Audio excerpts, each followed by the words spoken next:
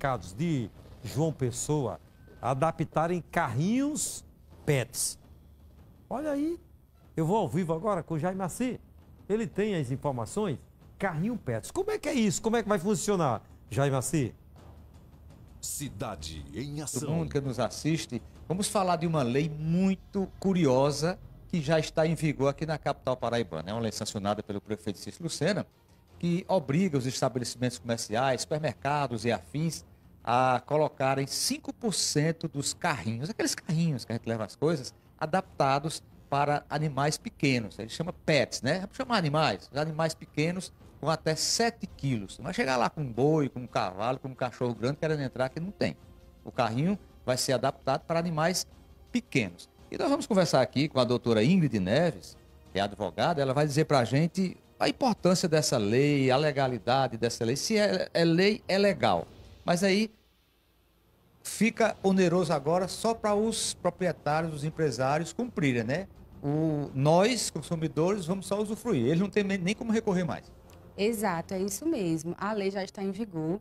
E aí fica o alerta para os proprietários dos estabelecimentos, supermercados, que tenham esses carrinhos, que disponibilizem os carrinhos para colocação das feiras, eles vão ter obrigatoriamente que adaptá-los. 5%, se ele vamos supor que tem 100 carrinhos lá, 5 desses carrinhos têm que ser adaptados para comportar esses pequenos animais. Tem que ter um cantinho no carrinho lá, né? O cantinho do carrinho. Hoje o que a gente tem, tinha como obrigatório, e vários supermercados já disponibilizavam aos clientes, eram os carrinhos para crianças.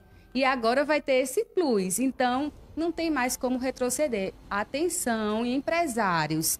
É, fiquem atentos, porque tem prazo para essa adaptação acontecer.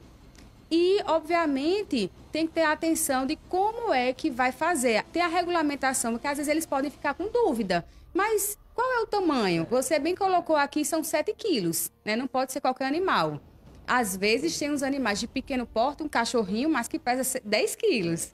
Então, existe esse limite que já está expresso na lei, 7 quilos. A lei também fala pequeno e médio porte, mas o limite, os 7 quilos. E aí vale esse recado para o, o, consumidor também, né? O cara chega com um cachorro bem grande, pesado lá e vai querer um carro. Não é assim também.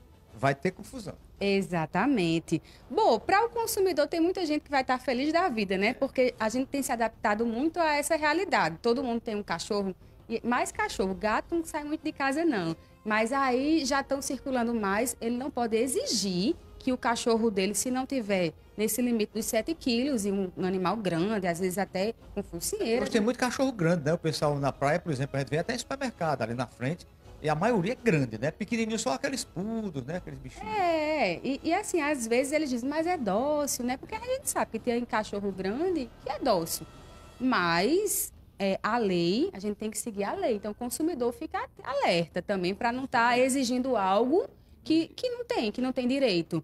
Então, realmente, até 7 quilos e a lei fala pequeno e médio porte. Os empresários têm alguma punição se ele não cumprir, não se adaptar nesses 60 dias? Então, tem as fiscalizações que podem vir a acontecer, né? Se realmente não houver essa adaptação do carrinho de supermercado, eles podem ser penalizados com as multas administrativas dos órgãos, né? Um PROCON municipal. Então, assim, é bom ter atenção e cumprir para evitar qualquer dor de cabeça. Já aí sair na frente, né?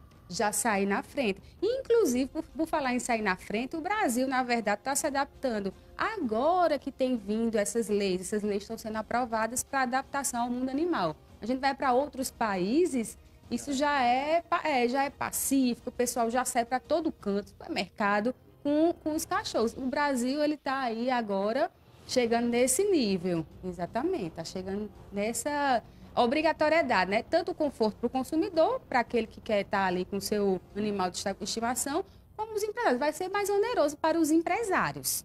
Isso é verdade. Há um ônus aí, porque você tem que adaptar aquilo que você já possui, então tem um gasto, né?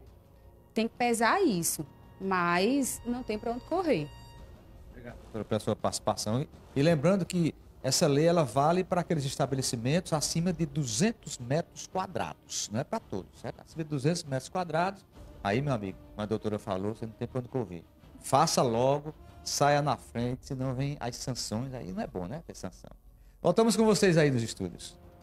Aí, uma novidade boa, né? Uma novidade. Olha, deixa eu abraçar a Virgínia. Virgínia é cuidadora, ela foi cuidadora da minha mãe